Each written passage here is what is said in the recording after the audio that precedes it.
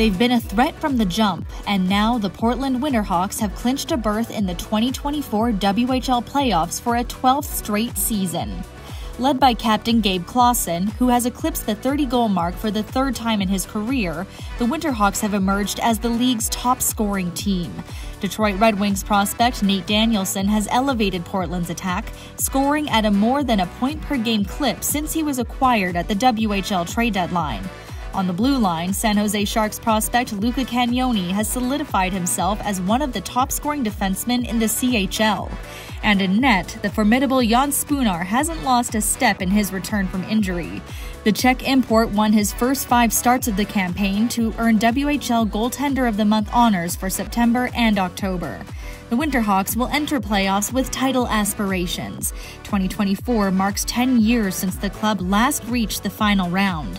Portland most recently captured the WHL championship in 2013, the same year the team made it all the way to the Memorial Cup final.